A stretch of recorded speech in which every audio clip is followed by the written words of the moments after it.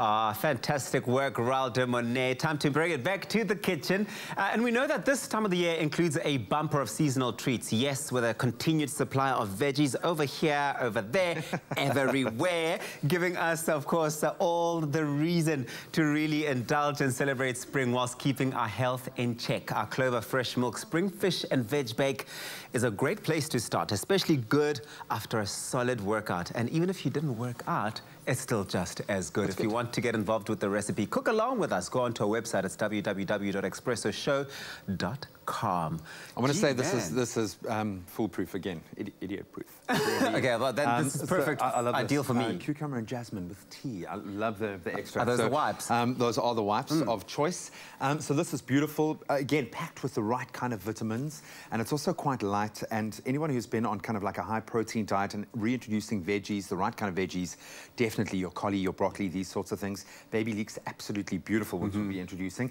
Yeah. Um, so the white sauce is where it all begins. Okay. okay. I've got a bit of heat in the pan here. All right. Um, I've watched Nicole do this many, many times. And I hope you've um, been uh, learning. So, I don't want to say the white sauce is, is, foolproof, but it's a pretty much a stock standard way of approaching it. So we've got our butter going in, mm -hmm. a little bit of, of, well, quite a lot of garlic actually. Well, we love our, start then. Love our, our garlic. Of course. Um, so we'll let that start to to really infuse. Mm. And then we're going to introduce just little bits of flour. We want that to work its way through. And this kind of forms the basis of your your white sauce. Mm. You almost want it to become like a little bit pasty. You don't want the garlic to burn as well, so don't make your, your pan too too hot. Yeah, I like that you're making it pasty because otherwise most people do make their sauces quite watery as well, which can be a bit problematic in terms of flavor. You know what I mean? You lose so much of the flavor, but the more creamy and the more, more pasty it is, the more, I suppose, tasty, right? Because um, you're retaining all of that flavor. Um, yeah, and you want it to break down, you want it to, to burn down, so I'm just going to add a little bit of... I might be doing this slightly out of order, but I'm just following my gut here because I don't want my, my garlic to burn, so I'm going to put now the baby leeks in. No, that's the whole thing in the kitchen. You know, you make your own rules sometimes. Sometimes you break uh, some pre-established oh, rules, this, but it's all about the end product. Amazing. So I'm now, I was worried I was going to fry off my my flour too quickly. Mm -hmm. um, okay, that's starting to thicken and look beautiful already. Mm -hmm. oh, while Graham's doing this, go on our website. It's expressoshow.com. We've got this recipe on there. It's quick. It's very easy, but all the ingredients are also listed on there. Anybody can make this, I promise you. And you'll see just how easy it is once Graham's done with it. Okay, now I've put, um, again, um, half a cup of cream going in there. Uh -huh. it's looking absolutely amazing. And smelling, smelling good. Absolutely amazing. Mm. look, it's probably not the best white sauce that anyone's made, but for a first attempt, it actually looks pretty good. It's not too lumpy. It's mm. mixed through. It looks delicious. I'm going to start, they say, season, season all the way through. So it's the smell season. for me, Graham. It's the smell for me. Like, it smells so, so good. It keeps us nice and low. Um, and I'm going to add a little bit of thyme, one of my favorite, favorite herbs. Undoubtedly, try and kind of keep the stalks out of there if you can. Um, but thyme just is, it's a beautiful aromatic. It just adds so much. For me, it's probably my favorite. Thyme and sage, I absolutely mm. love. Yeah, you can never with. go wrong with thyme. And with a, a, a, white fish, you know, it kind of it becomes a wonderful sounding board for flavors. Uh -huh. A little uh-huh. bit of fresh parsley. Uh -huh.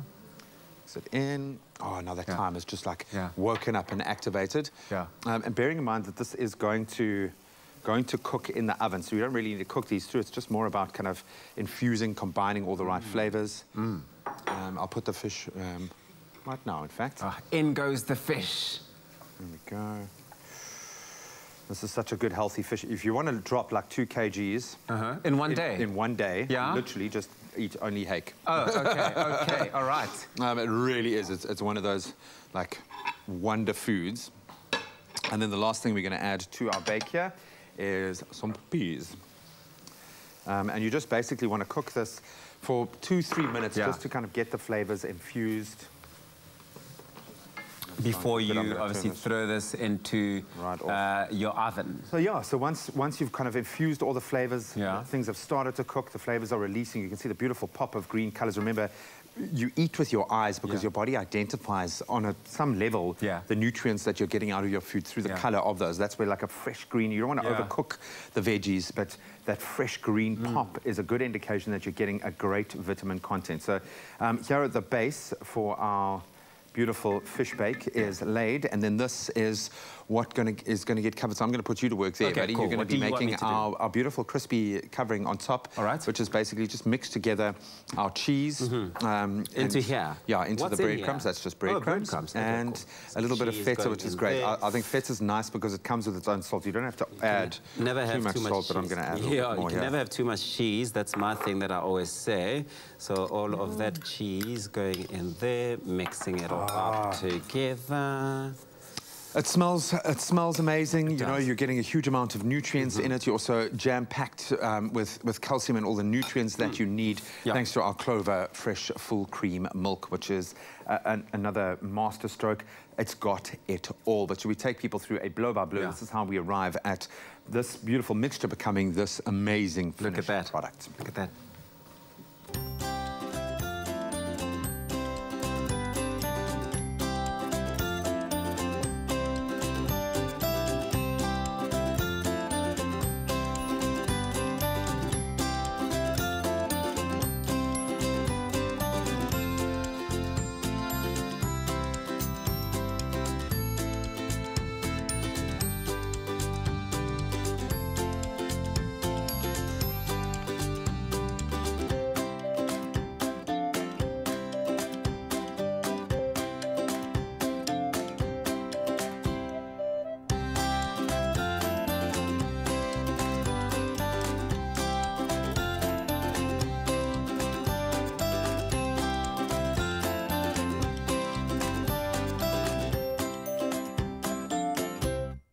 Made with love by Clover.